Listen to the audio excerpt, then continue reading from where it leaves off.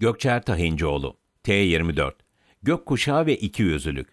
Linç, insanın yakasını hayat boyu bırakmayan, en utanmaz insanda bile günü geldiğinde yüze vuran dünyanın en ayıp, en utanmaz, en vahşi eylemlerinin başında gelir. Sözüm pusu kurmayı alışkanlık edilmiş, saldıracakları insanı tek başına yakalamaya gayret eden ve onlarca kişiyle saldırmayı erkeklik sayan geniş kalabalıklara değil elbette. Ancak o geniş kalabalıklardan da büyük, çok büyük bir kalabalık daha var. Bir linç eylemine katılmaları halinde bu ağır yükü yaşam boyu omuzlarında taşıyacak, çocuklarına karanlık bir miras olarak bırakacak büyük bir kalabalık. Geçen yıla kabaca bir bakalım. İzmir Karabağlar'da trans kadın yaşadığı apartmanın girişinde bıçaklanarak öldürüldü. Tarla başında trans kadınlardan haraç alan, cinsel şiddet uygulayan çete üyeleri hakkında şikayetlere rağmen işlem yapılmadı. İHD'deki basın toplantısıyla yaşananlar duyuruldu. Bir trans kadın, polis, devlet ve kulüp yöneticilerinden öyle bir baskı var ki, geçen gün o adamlardan birisi arkadaşımı bıçaklayacaktı ve bekçi gülerek yanından geçti. Hiç yaşamak istemediğimiz olaylar var. Ağır geliyor bize. Kimi arkadaşlarımızı dövüyorlar, kiminden haraç alıyorlar. Ne devlet arkamızda ne başka bir kurum. Bekçilerle de sorun yaşıyoruz. Biz bunları hak etmiyoruz. Kendi ülkemizde özgür bir şekilde yaşamak istiyoruz. Kimse de bizi baskıya maruz bırakamaz. İzmir'de sokakta arkadaşıyla sohbet eden trans kadın, bekçinin hakaretine ve sözlü saldırısına uğradı. Şikayet ettiği polisler, sizi korumak zorunda değiliz yanıtını verdi.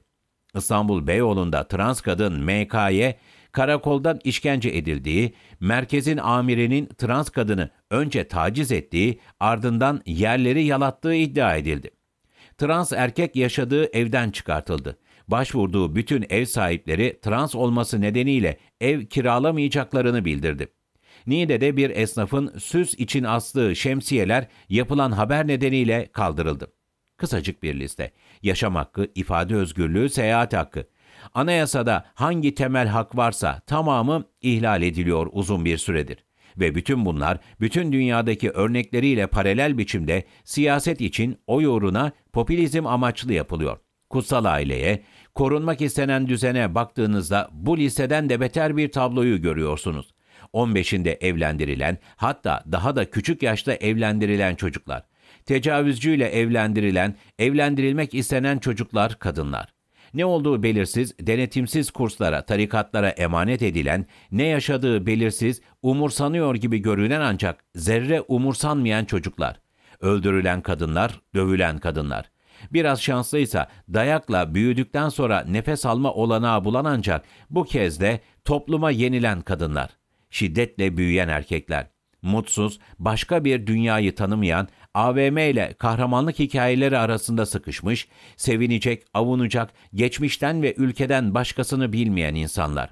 Şans verilmeyenler, sürekli kandırılmak, sürekli olduğu yerde bırakılmak istenenler. Ama kimsenin bunlarla derdi yok. Erkeği erkeklere, iktidara, tarikatlara hizmet eden muazzam bir düzen. Mutlu aile olsun isteyen, bunun için mücadele eden yok. Bütün mücadele sistemin sürmesi için. Çocuklar için sınıf panosunda gökkuşağı hazırlayan, önünde öğrencileriyle poz veren bir öğretmen, linçsever insanların gayretiyle sırf gökkuşağının renklerini bazı insanlar kendini ifade etmek amacıyla kullanıyor diye görevinden uzaklaştırıldı. Öylesine bir komedi ki gökkuşağı renklerinden bayrağı ciddi ciddi örgüt bayrağı olarak gören kamu görevlileri var. Bir örgüt yaratabilseler, yaratacaklar ancak şimdilik bunu yapamadılar. Ancak yapabildikleri daha büyük bir kötülük de var. Tüm LGBTİ artıları hedef göstermek. Sıradan bir hedef göstermekten söz etmiyoruz. Kendi dünyasında, kendi halinde yaşayıp gitmek isteyen insanlar iş bulamıyor, ev bulamıyor. Hak etmelerine rağmen kamudan dışlanıyor. Bazıları fuhuşa sürükleniyor. Çetelerin eline düşüyor. Aileleri tarafından tehdit ediliyor. Kendi dünyasında yaşamaları engelleniyor. Sivil toplum örgütünde ise gözaltına alınıyor, darp ediliyor. Dernek kurmuşsa derneği kapatılmak isteniyor. Öğrenci ise okulda karşılaşmadığı zorluk kalmıyor. Artık yolda yürümek, bildiği sokaklardan çıkmak zor. Her an, her yerde başlarına her şey gelebilir. Herkes gibi oldukları, herkes gibi yaşadıkları anlaşılmasın isteniyor. Ucube gibi görünsünler, dövülsünler, öldürülsünler. Açık açık şu isteniyor. Bu topluma bu zehri vermek istiyorlar söylemi altında. Hepiniz gizlenin, saklanın, kendinizi ifade etmeyin. Göz görmeyince ne yaşandığının önemi yok. İstediğiniz gibi bir köşede geberip gidebilirsiniz.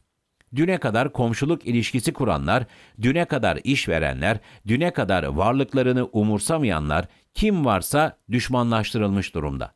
Aile yapısı, toplum yapısı, siyaset yapısı. Oy kazanmak, iktidar birileri için önemli olabilir. Zaten insanların hangi görüşte, hangi yaşam biçimine sahip olursa olsun zerre önemsemeyen kalabalıklar var. Onlar için de bütün bu söylemlerin anlamı olmayabilir. Ancak başta da söyledim ya, bir de daha büyük kalabalıklar var. İşte onlar oy uğruna, iktidar uğruna insanlara düşman etmenin günahı da vebali de büyük. Linç, insanın yaşamı boyunca omuzlarından atamayacağı, çocuklarına karanlık bir miras olarak kalacak dünyadaki en ayıp eylemlerden biridir. Korkmayı bırakarak linç edilenlerle, edilmek istenenlerle yan yana olmak gerekiyor. Dayanışmak, siper almak, alacağın, kaybedeceğin oydan korkmadan hakları anlatmak gerekiyor. Bunu yapmayan, linçe sessiz kalan kim varsa suç ortağı haline gelir. Bu linç kültürüne karşı yapamazsın demek gerekiyor. Geç kalmadan. Abone olmayı ve bildirimleri açmayı unutmayın.